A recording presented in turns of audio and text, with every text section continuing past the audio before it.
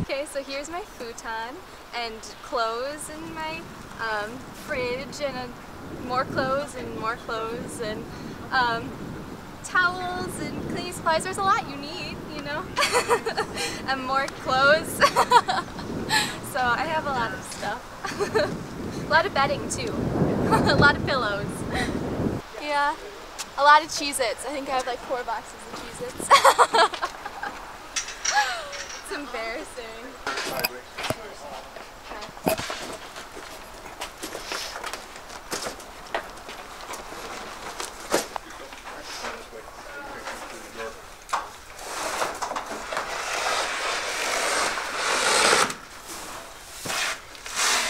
It was um, if you got a certain grade point average, and she's in the honors college, so that's um, her academics, and they offered us a single room at a doubles price. So it this year for tuition and housing, it didn't cost any more to be in a single room.